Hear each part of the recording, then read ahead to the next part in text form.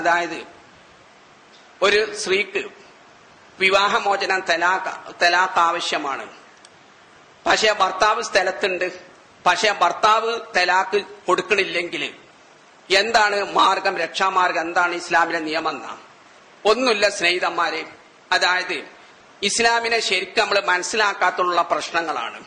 അതായത് ചില ആളുകൾ അങ്ങനെ തലാക്ക് പിരിക്കണില്ലെങ്കിൽ ഓനെ കെട്ടിട്ടിങ്ങാണ്ട് തല്ലാനും ആങ്ങളാരൊക്കെ എന്താണ് കത്തിയൊക്കെ ആയിട്ട് തലാക്ക് കൊണ്ടടാന്ന് പറഞ്ഞു ഓനെ ഭീഷണിപ്പെടുത്താനൊക്കെ ഓന്റെ പിന്നാലെ നടക്കാറുണ്ട്. അതിന്റെ ഒന്നും ആവശ്യമല്ല. അങ്ങനെയാണെങ്കിൽ ഇസ്ലാം മതം അതായത് നബിന്റെ കാലത്ത് ഒരു പെണ്ണ് വന്നിട്ട് പറഞ്ഞു നബി എനിക്ക് തീർപ്പതില്ലാത്ത പുയാപ്ലക്കാണ് എന്റെ പിതാവ് എന്നെ വിവാഹം ചെയ്തു കൊടുത്തത്. എനിക്ക് അദ്ദേഹവുമായി യോജിച്ചു പോവാൻ സാധിക്കണില്ല. പക്ഷെ ഭർത്താവ് വിവാഹമോചനം തരുന്നില്ല എന്ന് പറഞ്ഞു.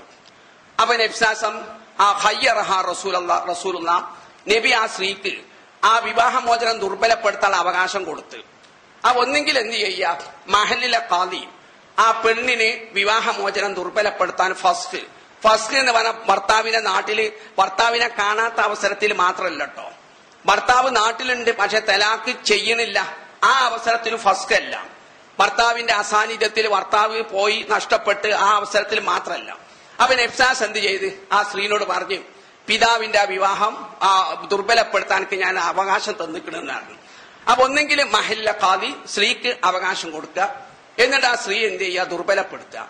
അല്ലെങ്കിൽ മറ്റൊരു സന്ദർഭത്തിൽ ഇങ്ങനെ കേസ് വന്നപ്പം ഭർത്താവ് തലാക്ക് വിരിക്കണില്ല എന്ന് പറഞ്ഞപ്പം റദ്ദ റസ്താൻ നിക്കാഹ നബി എന്ത് ചെയ്ത്? ദുർബലപ്പെടുത്തി. അവൻ രണ്ട് രീതി ചെയ്യാം. ഒന്നെങ്കിൽ ആ സ്ത്രീന്റെ അനുവാദത്തോടി മഹലിലെ കാതി ദുർബലപ്പെടുത്തുക. അല്ലെ മഹലിലെ കാതി സ്ത്രീക്ക് ദുർബലപ്പെടുത്തൽ അവകാശം കൊടുക്കുക. പക്ഷെ മഹലിലെ കാതിയും തലതിരിഞ്ഞതാകുകയാണ് അയാൾക്ക് ചിലപ്പം ഇയാൾ ഭീഷണിപ്പെടുത്തിയിട്ടുണ്ടാവും ചിലപ്പം ഭർത്താവുകൾ തലാക്ക് അവകാശം കൊടുത്താൽ എന്തെങ്കിലുമൊക്കെ ചെയ്യും. അല്ലെ പൈസ കൊടുത്തിട്ടുണ്ടാവും. ഒരു പ്രശ്നവുമില്ല. അങ്ങനെയാണെങ്കിൽ ഏത് മഹലിലെ സ്വന്തം മഹലിലത്തെ ചെയ്യണില്ലെങ്കിലും ഏത് മഹലിലെ കാതിക്കും ആ പെണ്ണിനെ അങ്ങനെ അനുവാദം കൊടുത്തിട്ട് ഫസ്റ്റ് എല്ലാം അനുവാദം കൊടുക്കാം.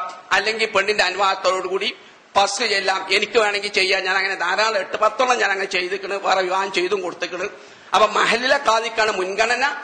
പക്ഷെ അയാൾ വിലങ്ങ് നിൽക്കുകയാണെങ്കിൽ പ്രശ്നമൊന്നുമില്ല. പെണ്ണിന്റെ ജീവിതം കഷ്ടപ്പെടാനൊന്നും ഇസ്ലാം അത് ഉദ്ദേശിച്ചിട്ടില്ല. ഇങ്ങനെ ഫസ്ക് ചെല്ലാം. ആ ഫസ്ക് നാട്ടിൽ തന്നെ ചെല്ലാം. ഇനി ഭർത്താവ് ചെലവ് കൊടുക്കണില്ല. ആ കാരണത്താലും ചെയ്യാലേ ഭർത്താവിനെ കാണുന്നില്ല. അങ്ങനെയൊക്കെയാണെങ്കിൽ ചെയ്യാന്നർത്ഥം.